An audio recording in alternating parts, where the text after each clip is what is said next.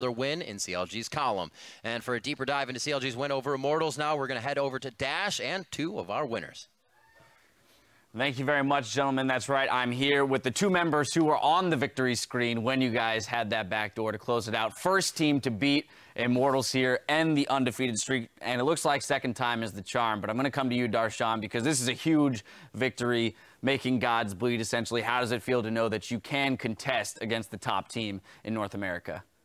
It feels pretty good, actually. I feel like we had we play, like we prepared really, really well for this match, and um, we showed that we're like one of the best teams in North America, if not like the best team. And I feel like we've just been training so hard, especially for this Immortals match, and we, I think we were more ready for it than they were. Give me a sense. Uh, I'm going to come to Xmithie. Give me a sense of this preparation that Darshan just talked about because this is actually the second time that we saw you guys establish an early lead against the team. You're one of the few teams that has been able to do so. So, what is it about your guys' prep and planning that allows you to establish these leads against the top tier team? Um, well, we prepared sort of like we played like only like two or three champions, like every player. So I think we got our champions on lock, and also our strategy. Like we just kept improving day by day, and yeah. Speaking of which, champion pools, I just have to point out last five games, including this one, you've now played five different champions, though. So you, as an individual, are showcasing an ability to expand your champion pool. We've seen everything from Elise to Rek'Sai, Nidalee, Gragas, and now the Udyr kind of out of nowhere. What's that experience been like for you this season, trying to increase your options, your level of options for the team? Well, even before, I used to play a lot of champions, mm -hmm. but it wasn't like up to par on like my core champions. So I tried to practice in solo queue, just like in game even, or like just watching other people play. Um, that's how I improved uh, pretty much every of my champions. All right, so we've we've gone through the practice, we've established the game plan, we secured the early lead like we wanted to and expected to. Uh, that same situation, though, presented itself the first time you played Immortals. And Darshan, I'm going to come back to you here because there was a little bit of overzealousness in the first game, which uh, caused uh, Immortals uh, to have an opportunity to get back into the game. How did you guys make sure that you kept your mindset, kept the mentality of closing out this game this time when you established that lead?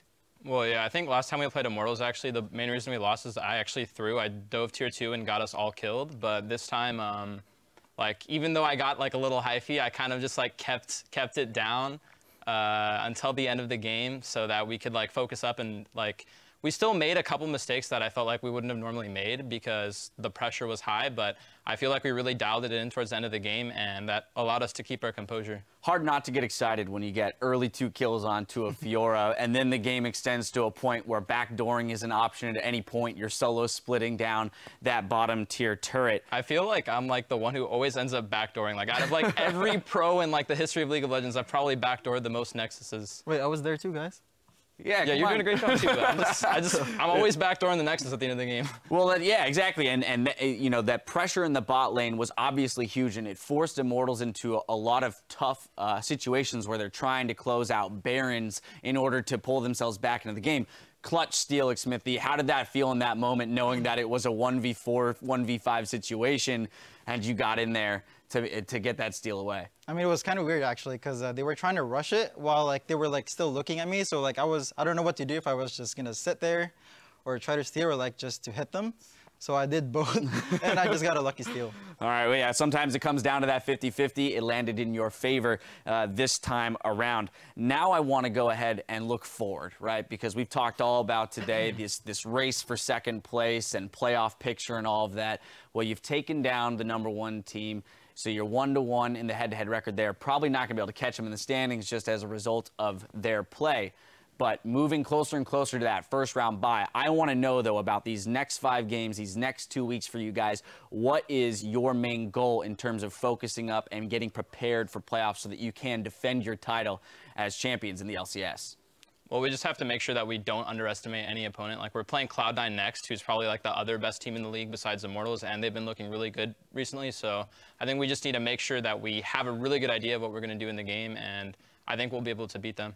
All right, Smith, do you got anything to add to that? It's particularly looking at Immortals and knowing that if you're going to win the NALCS again here in spring, you're probably going to have to do it against them or at least go through them at some point during playoffs. When it comes to those best of fives, how do you think you guys can fare against a team that creates exciting games like this against you guys? Well, for now, I think we should just um, look in every game like day by day.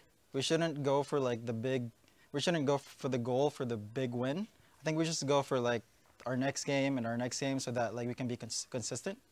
And I think that's what I've been doing. All right, keeping that, keeping your wits about you, taking it game by game, step by step. Well, gentlemen, again, congratulations on a huge victory here today. It's got to feel good. I'm going to let you get back to your team so you can celebrate a little bit. We're only halfway through our Saturday broadcast, so don't go anywhere because when we return, Energy Esports will face off against Renegades. Stay with us.